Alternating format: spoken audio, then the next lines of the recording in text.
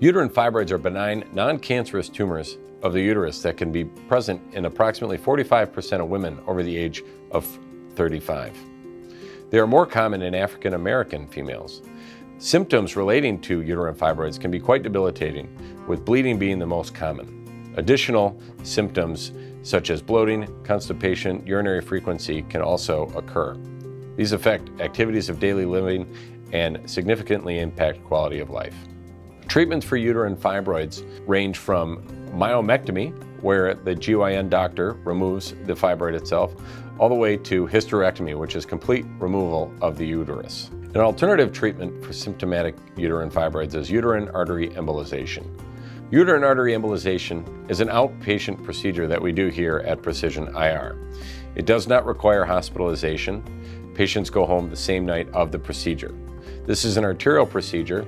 Patients receive conscious sedation uh, for the procedure. Uterine artery embolization is very effective in treating patients with symptomatic uterine fibroids. Depending on their symptoms, the procedure can be upwards of 95% effective.